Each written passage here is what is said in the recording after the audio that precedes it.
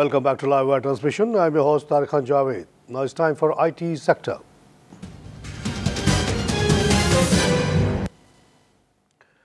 Nazin IT sector में हम बात करते हैं टेक्नोलॉजी की और इसकी अहमियत की आज हम बात करेंगे कि why digital transformation is necessary कहने का यह मतलब है कि आजकल क्यों ज़रूरी हो गया है कि जो भी हम कारोबार करते हैं बैंकिंग हो प्रोडक्शन हो टेक्नोलॉजी की कंपनियाँ हो, उसमें डिजिटलाइजेशन क्यों ज़रूरी है? क्यों ज़रूरी है कि हम डिजिटल डाटा क्रिएट करें? क्यों ज़रूरी है कि हमारी जो जितनी गवर्नमेंट की इंफॉर्मेशन है वो डिजिटलाइज्ड हों?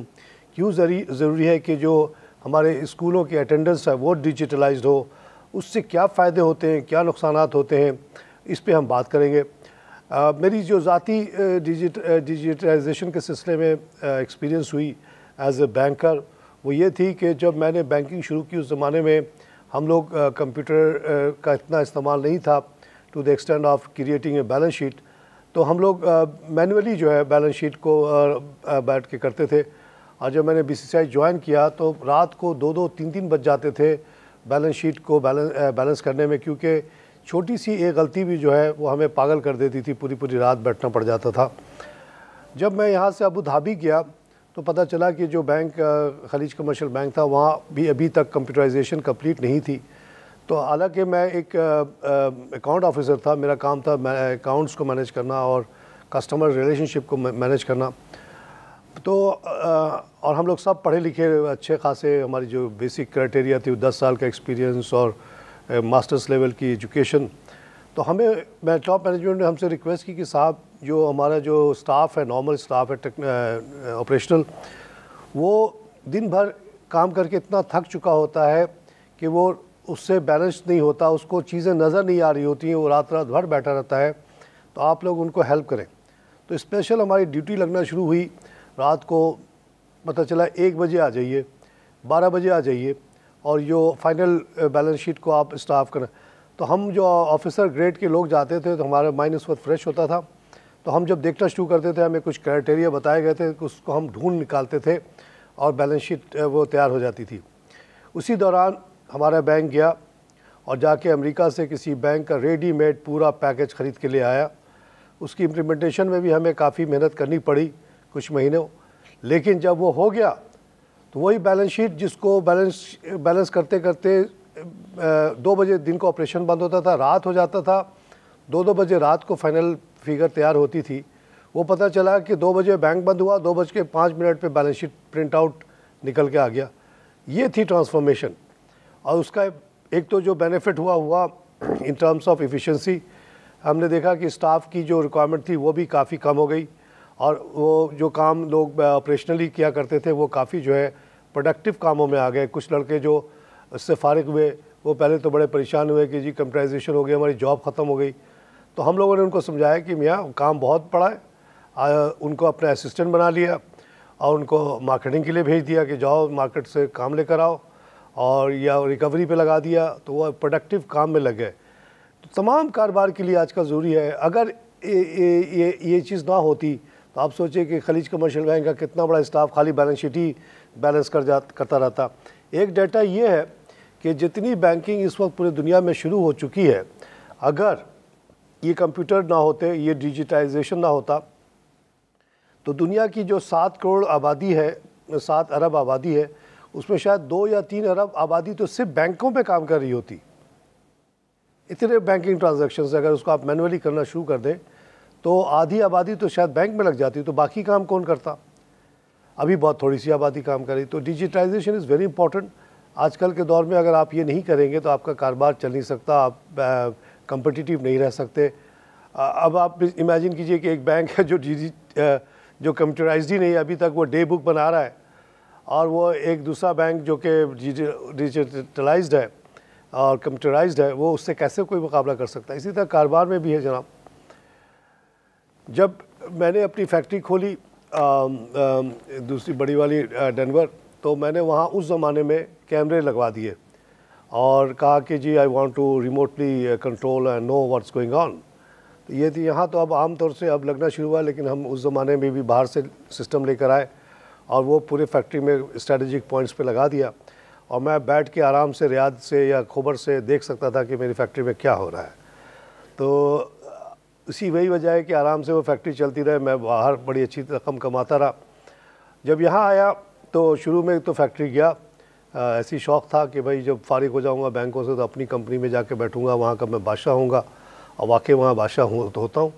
ना वहाँ मेरे लिए कोई रिटायरमेंट एज है, ना मेरे लिए कोई और चीज़ है, जो जब तक मैं ज़िंदा हूँ, वहाँ जाके बादशाह बनता हूँ। तो कुछ दिनों के बाद ख्याल आया कि why should I travel all the way from my house to the factory घर के पास ही एक फ्लैट वो ऑफ़िस ले लिया, ख़रीद लिया। और वहाँ पे मैंने वही सिस्टम्स जो थे वो लगे हुए, वहाँ पे इंस्टॉल कर लिया, वहाँ से मुझे सब कुछ नज़र आता था। बीइंग इन द सिटी फ़ायदा ये था कि हमने और भी बहुत सारे कारोबार कर लिए वहाँ पे बैठ के। तो अगर मैं करंगी में होता तो वहाँ पे मेरे जो और कारोबार थे राइस वाइस के, उस, उनके लिए आना जाना बड़ा मुश्किल होता। तो ये दौर है जनाब, उसके आपको बड़ी आसानियाँ हो गई हैं, बहुत एफिशिएंसी हो गई है। अगर मैं फैक्ट्री में बैठा भी हूँ तो मुझे ना पता चले कि तीसरे फ्लोर पर क्या हो रहा है। लेकिन अगर मैं अपने घर पे बैठा हूँ या अभी अपने मोबाइल को खोल के देखना चाहूँ तो I can get twelve photos twelve point पे मेरे कैमरे लगे हुए हैं ट्वेल्व पॉइंट की एक्टिविटी मुझे नज़र आती है। कौन अटेंडेंस में है कौन नहीं है कौन सो रहा है कौन आ, किसी को छेड़ रहा है वो सब नज़र आ रहा होता है। तो इसलिए डिजिटलाइजेशन बहुत ज़रूरी है। उसी बुनियाद पे इसी टेक्नोलॉजी के बुनियाद पे मैं आप लोगों को फ्री सर्विस ये देता हूँ। यहाँ आ जाता हूँ। अगर मैं फैक्ट्री ही चलाता रहता तो कैसे आता है यहाँ पे? मुझे तो हर वक्त फ़िक्र होती रहती कि उस अगले कमरे में क्या हो रहा है, कौन आया, कौन नहीं किया। लेकिन आज इसलिए नहीं है कि अभी मैं अपना मोबाइल ऑन करूँगा। And I will get twelve photos of including my office home and also my factory का हर कोना। चौदह स्क्रीन आ जाती हैं आजकल मेरे पास। मैं सब कुछ देखता हूँ। मुझे कोई ज़रूरत नहीं है कि मैं वहीं बैठा रहूँ। यहाँ के क्वालिटी वर्क करता हूँ, आप लोगों को गाइड करता हूँ। तो ये डिजिटलाइजेशन का दौर है। जो अडाप्ट कर, नहीं करेगा, वो तकलीफ़ में रहेगा। जो कर लेगा, उसके लिए बड़ी आसानी होगी कम्पिटिटिव हो जाएगा। यहाँ पे हम लेंगे एक छोटी सी ब्रेक ब्रेक के बाद फिर इन हाजिर होते हैं।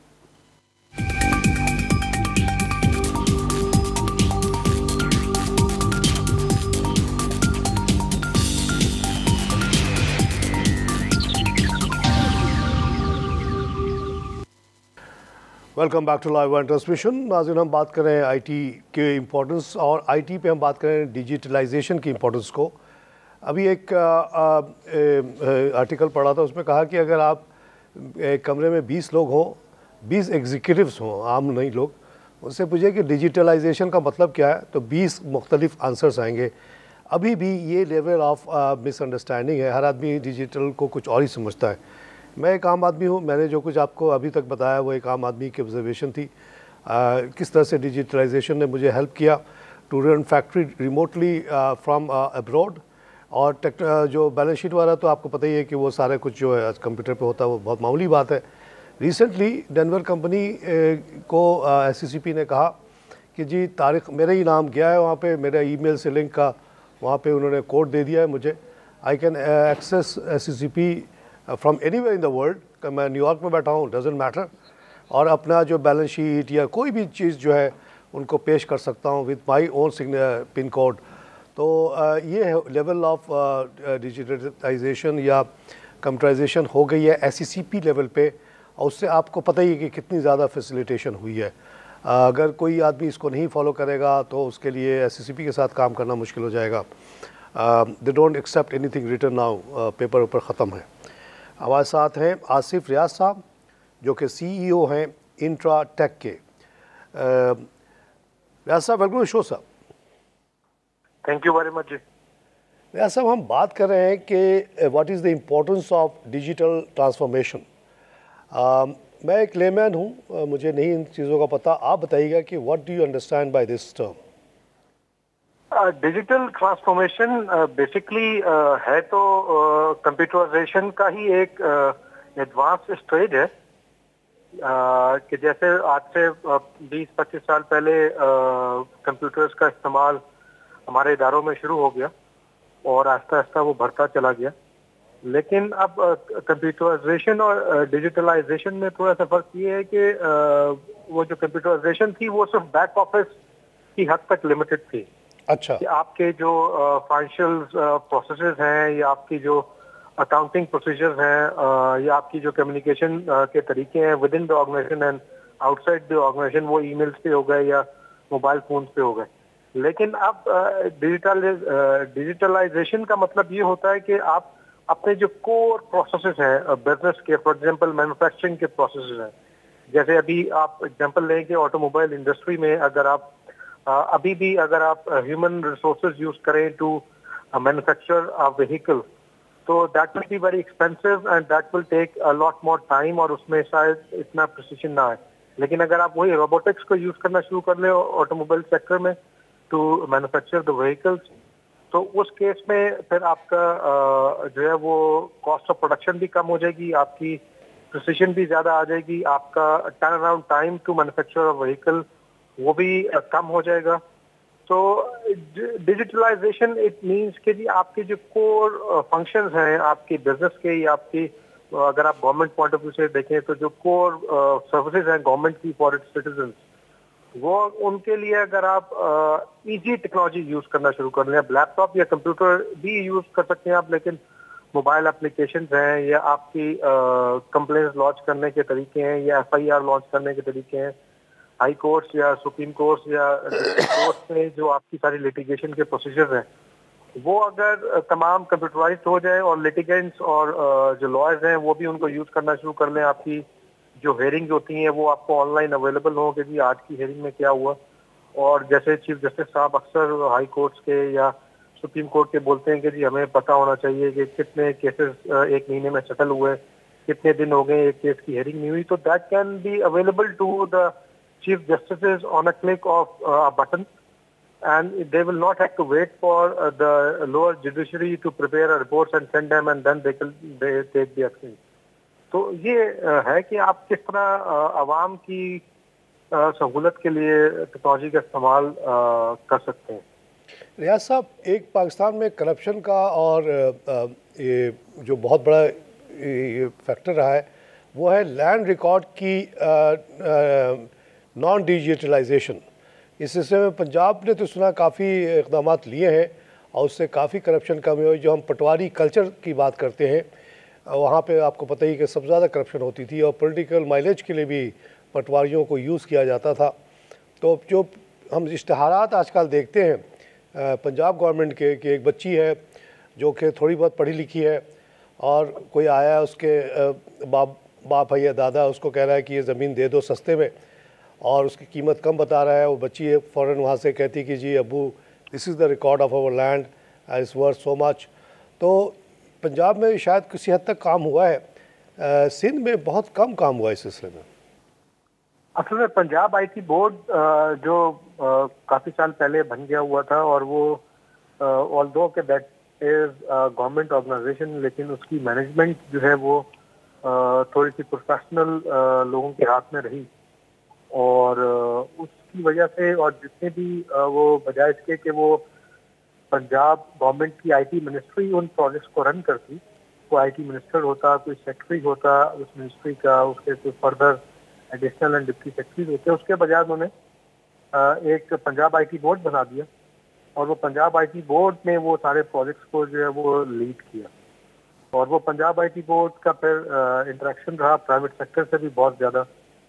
और उनका जो उन कंपनीज़ को हायर करने का और जैसे आप बात कर रहे हैं कि लैंड रिकॉर्ड्स को उन्होंने कंप्यूटराइज कर लिया तो ऑब्वियसली उससे करप्शन भी कम होगी और फिर जो ज़मीनों के मालिक हैं उनको भी अभी अगर मेरे पास एक कोई प्लॉट है कहीं पे पाकिस्तान में तो मुझे उसकी वेरिफिकेशन का मुझे तरीका नहीं पता कि मैं किसके पास जाके पूछूँ कि वो मेरे नाम पर है या मैं अगर मैं खरीदना चाहता हूँ और कोई क्लेम कर रहा है कि ये प्लॉट उसका है, और मैं वो वेरीफाई नहीं कर पाता और अगर मैं वेरीफाई करने, मुझे पता लगता है कि फलाना एक डिपार्टमेंट उसकी वेरिफिकेशन करता है तो I am not very much satisfied कि जी वाकई वो जो बंदा मुझे रिकॉर्ड दे रहा है, वो वाकई जेन्यून है कि नहीं। लेकिन अगर वही चीज़ ऑनलाइन होगी, जैसे गाड़ियों की सेल परचेज होती है सिंध में तो आप एक्साइज की वेबसाइट पे जाएँ या एक्साइज डिपार्टमेंट में जाएँ, आप गाड़ी का नंबर उनको रजिस्ट्रेशन नंबर बताएँ तो उसकी आपको डिटेल्स दे देता है कि ये गाड़ी किसके नाम पर है। आ, कोई गाड़ी आ, चोरी की तो नहीं है।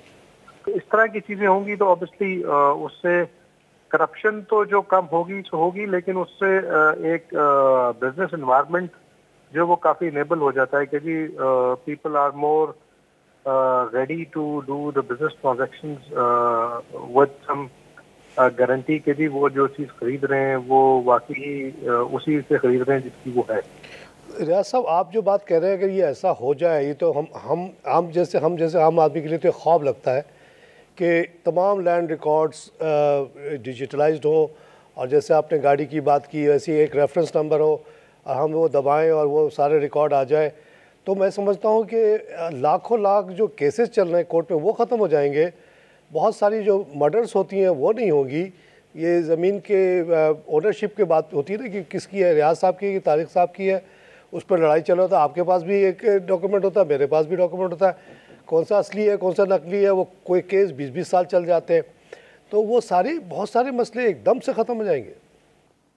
जी जी, बिल्कुल क्योंकि अगर आप सिर्फ़ लैंड रिकॉर्ड की कंप्यूटराइजेशन की बात कर लें तो यस और ये तो काफ़ी साल पहले हो जाना चाहिए था, जैसे नादरा एक काफ़ी साल पहले बन गया था। तो वो उस वक्त हो जाना चाहिए था और अब ये बाकी गवर्नमेंट्स जो है, वो उनको भी लीड देनी चाहिए, बाकी प्रोविज़न गवर्नमेंट्स को भी। और वो तमाम प्रोजेक्ट करने चाहिए कि जो एक जनरल पब्लिक के लिए, एक बिज़नेस मैन के लिए उसको एक इनेबल्ड इन्वायरमेंट देते हैं। अब जैसे सी पैक के प्रोजेक्ट चल रहे हैं तो उसमें भी अब गवादर में जो ज़मीनें हैं तो वो उसका रिकॉर्ड किसके पास है? किसके पास जाके बंदा बोले कि मैंने कोई ज़मीन खरीदनी है या बेचनी है? तो it it all boils down to the real estate agents and they जो वो कहते हैं हमें वो मानना पड़ता है। उसकी कोई वेरिफिकेशन का प्रोसेस नहीं होता जब तक कि आप उस इंडस्ट्री uh, में या उस पूरे बिज़नेस प्रोसेस में चंद महीने गुजार ना लें तो you will be always very unsure के जी जो आप करने जा रहे हैं वो वाकई सही आपको चीज़ मिलेगी ऐसा आपने ग्वादर का ज़िक्र किया। आपको याद होगा कि 2007 और उससे पहले छः सात वगैरह में भी ग्वादर के एक बहुत बड़ा प्रोपोगंडा हुआ था बहुत बड़ा फ्रॉड हुआ था यहाँ पे। One of the biggest fraud in the recent history जब मैं गल्फ़ में होता था और हमारे सत्रह दोस्तों ने ग्वादर के मुख्तलिफ़ प्रोजेक्ट्स पे पैसे लगा दिए, बाद में पता चला कि they never existed actually and they had no time to come and verify her verify आप ग्वादर चले भी जाएँगे तो आपको क्या पता चलेगा? वो कह देगा कि ये जो आप सामने ज़मीन देख रहे वो मेरी है। इस पर मैं ऐसा शानदार चीज़ें बनाऊँगा कि सिंगापुर भी शर्माएगा और टोरंटो भी शर्माएगा। और उस बेसिस पे लोगों ने ले लिए। There was no place where they could go and recheck that information तो बड़े लोगों को नुकसान हो गया, उससे बहुत बदनामी हुई पाकिस्तान की, बहुत लोगों को नुकसान हो गया। और अब जो नए तरीके से शुरू किया जा रहा है, उसका भी हम नहीं समझते कि कोई डिजिटल रिकॉर्ड है, जिसके बेसिस पे कोई सॉलिड डिसीज़न ली जा सके। और अब जब हमसे लोग पूछते हैं कि ग्वादर में लगाओ, न लगाओ तो I have no answer actually असल में ये एक हमारा माइंडसेट है कि हम इंफॉर्मेशन शेयर करते हुए घबराते हैं। चाहे वो आ, हमारी हुकूमतें हों उनके हुकूमत के चलाने वाले लोग हों ब्यूरोक्रेट्स हों वो समझते हैं कि इंफॉर्मेशन जितनी ज़्यादा वो होल्ड करेंगे उतना ज़्यादा उनका डिपेंडेंस उनके ऊपर होगी। तो ये इंफॉर्मेशन शेयरिंग कंप्यूटराइजेशन या डिजिटलाइजेशन से इंफॉर्मेशन जो है वो होल्ड नहीं हो सकेगी। जिसको जो इंफॉर्मेशन चाहिए होंगे वो मिल जाएगी। तो उससे अब फॉर एग्ज़ाम्पल मेडिकल रिकॉर्ड्स हैं। अब अगर मैं एक शहर में हूँ, कल को मैं दूसरे शहर में जाके अपने बीवी बच्चों के साथ रहना शुरू कर देता हूँ, वालदेन के साथ रहना शुरू कर देता हूँ।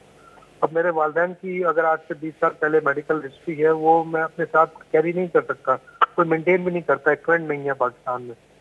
तो अगर ये सारे रिकॉर्ड जो है वो कम अज कम बड़े हॉस्पिटल्स की हद तक जो है वो कंप्यूटराइज भी हों और डॉक्टर्स जो है वो लाइबल भी हों कि जी वो क्या प्रिस्क्रिप्शन दे रहे हैं?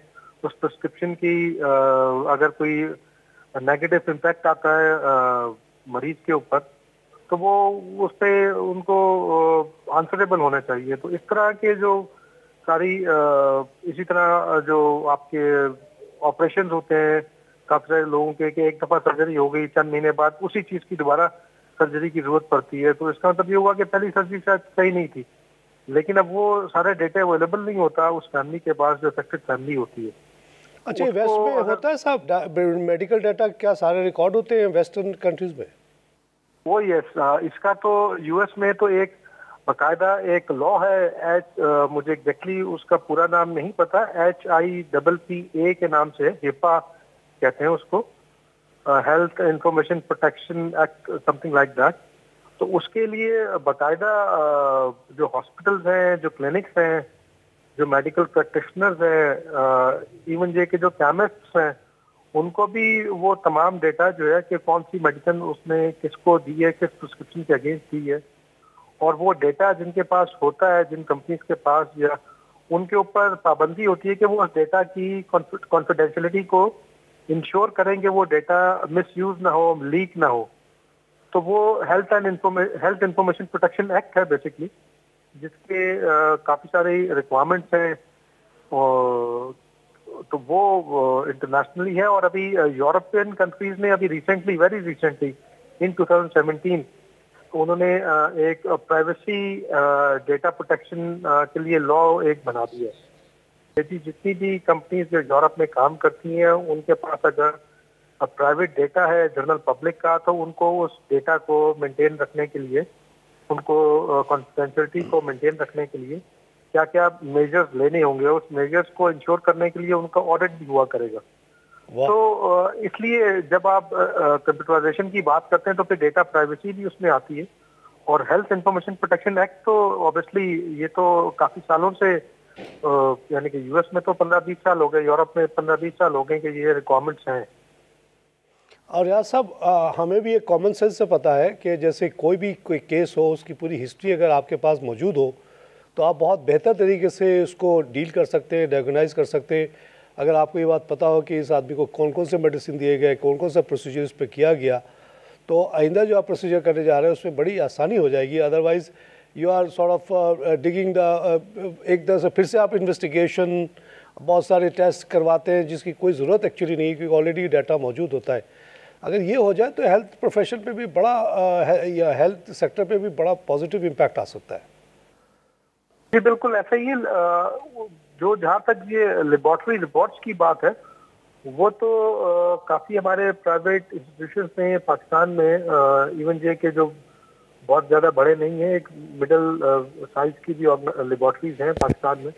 उन उन्होंने अब ऑनलाइन अपनी रिपोर्ट्स देना शुरू कर दी हैं कि वो अच्छा। आपके पास वो एक कोड दे देते हैं आपकी जब आप when you go and submit your sample for testing blood sample हो या किसी और चीज़ एक्सरेज हो। खैर एक्सरेज तो ऑनलाइन नहीं होते लेकिन जो मेडिकल रिपोर्ट होती है ब्लड टेस्ट हैं या आपको और डिफरेंट बॉडी पार्ट्स की सैंपल्स की टेस्ट होते हैं तो वो रिपोर्ट्स जो है वो इंटरनेट पे वो अवेलेबल कर देते हैं। You can take the print out your सब आपको वो कलेक्ट करने के लिए जाना नहीं होता फिजिकली दोबारा लेने के लिए। साहब आपसे बहुत कुछ और सीखना था लेकिन न्यूज़ का वक्त हो गया इसलिए आपसे अभी ज़्यादा चाहता हूँ। इंशाल्लाह अगले प्रोग्राम में मज़ीद आपसे लर्न करेंगे बहुत सारी चीज़ों को।